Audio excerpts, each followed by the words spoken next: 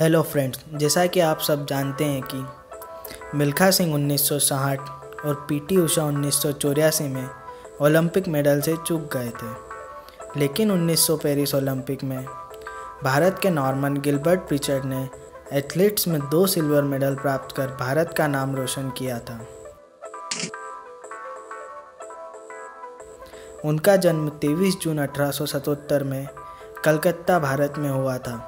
Pritchard Olympic में भाग लेने वाले पहले भारतीय थे, और तो और वह पहले ऐसे व्यक्ति थे जिन्होंने एशियाई देश का प्रतिनिधित्व करते हुए मेडल जीता था।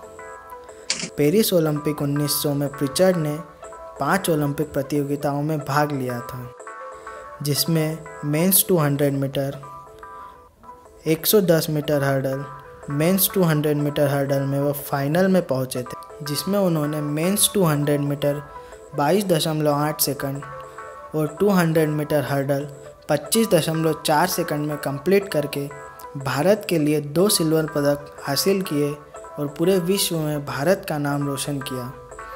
इसके अलावा, नॉर्मन प्रिचर्ड पहले ऐसे खिलाड़ी थे जिन्होंने अठारह में भारतीय इतिहास में सेंट जेवियर वर्सेस सोआ बाज़ार के फुटबॉल मैच में हैट्रिक दर्ज की थी।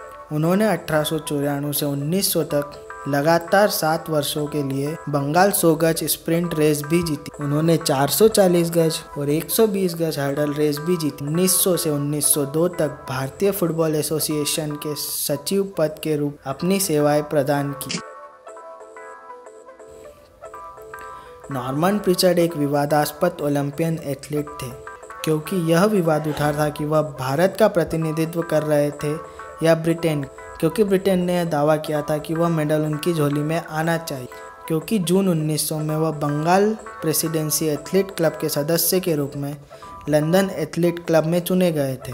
1900 ओलंपिक में ब्रिटिश टीम का selection A A A championship के आधार पर हुआ था, जिसमें प्रिचर्ड ने 120 गज हर्डल रेस सेकंड पोजीशन पर खत्म की थी और ओलंपिक के लिए सिलेक्ट हो, क्योंकि प्रिचर्ड बंगाल प्रेसिडेंसी क्लब के सदस्य थे, इसलिए इंटरनेशनल ओलंपिक कमेटी ने यह निष्कर्ष निकाला था कि वह इंडिया का ही प्रतिनिधित्व कर रहे थे और दोनों मेडल इंडिया के खाते में गए। इसी तरह नॉर्मन प्रिचर्ड पहले भारतीय बने, जिन्होंने ओलंपिक पदक जीता। 1905 में वह हमेशा के लिए इंग्लैंड चले गए थे। नाट्य क्षेत्र में अपनी प्रतिभा दिखाने के लिए वह अमेरिका चले गए और उन्होंने अपना नाम बदलकर नॉर्मन ट्रेवर रखा। उन्होंने उनके जीवन में 26 नाटक और 27 मूवीज़ में अभिनय किया। 31 अक्टूबर उन्नीस सौ उनतीस को ब्रेन मेलेडी नाम की बीमारी से उनकी मृत्यु हो गई। नॉर्मन पिचर्ड पहले ऐसे भारतीय ओलंपिक सुपरस्टार थे जिन्होंने ओलंपिक पदक हासिल किया था। ओके फ्रेंड्स तो आपको हमारा वीडियो पसंद आया हो तो लाइक एंड कमेंट ज़रूर करें और ऐसे ही मोर इंटरेस्टिंग फैक्ट जानने के लिए हमें सब्सक्राइब करना ना भूलें।